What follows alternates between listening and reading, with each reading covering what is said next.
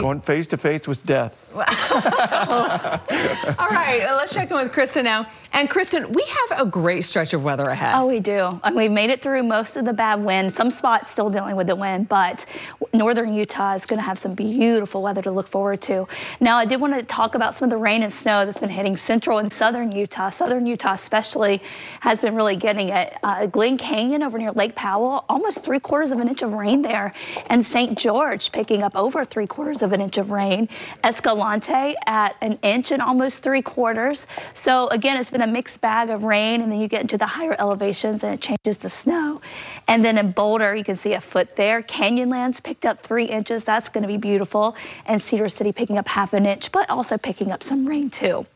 So we still have these showers moving from east to west. It's mostly cloudy out there, and we're going to continue to see showers roll in across this area of southern Utah through tonight and tomorrow. Moab still seeing a little bit of rain, trying to pick up a little bit more rain over in the St. George area. Same thing in Kane County.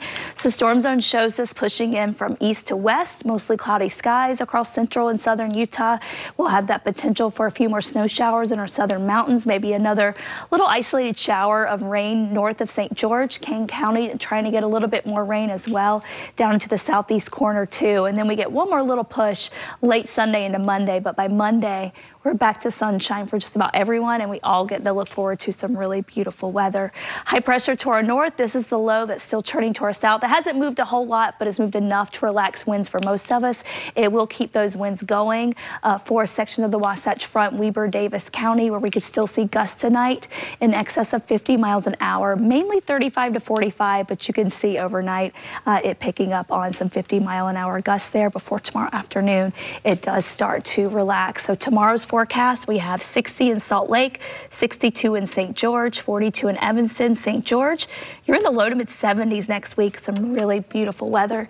And for the Wasatch Front, we'll have temperatures topping out in the mid 60s for a good portion of next week. So really beautiful stuff. Then we have that rain chance moving back in next weekend, a potential storm that could bring in rain and maybe even some valley snow by Thursday. So, all right. Looking good for now. Yeah, I was going to say, not too bad of a week. Mm -mm. All right, you might have to rest that voice, and yeah. Debbie might be doing the weather. Oh, it's, it's, it's been a while.